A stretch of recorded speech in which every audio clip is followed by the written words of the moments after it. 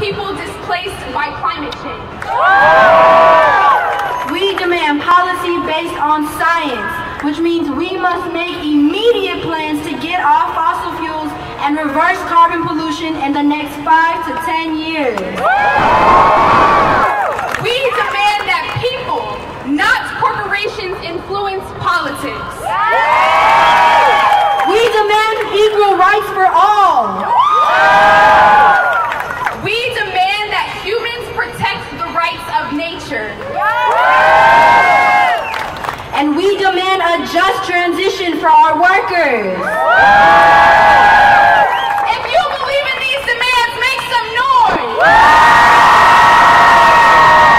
I'm sorry, I couldn't really hear you. If you believe in these demands, make some noise. There we go. There we go. All right. Our next a labor contingent. Please give them a warm welcome. Please welcome former president of the Environmentalist Labor Council,